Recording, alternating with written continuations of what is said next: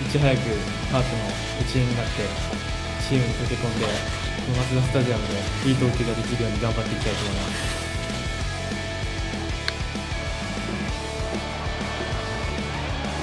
カープに来て近っぱよかったっちゃけど。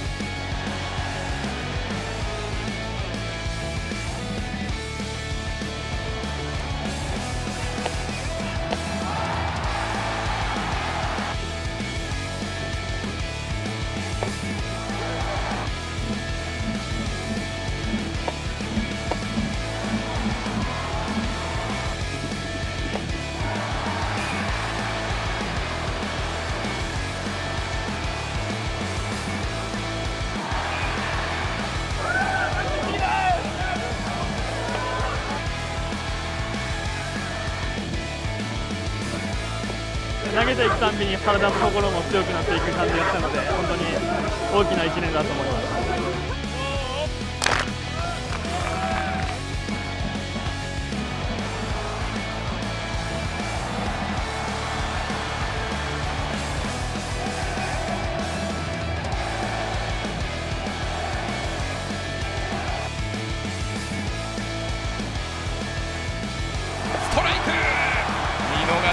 振。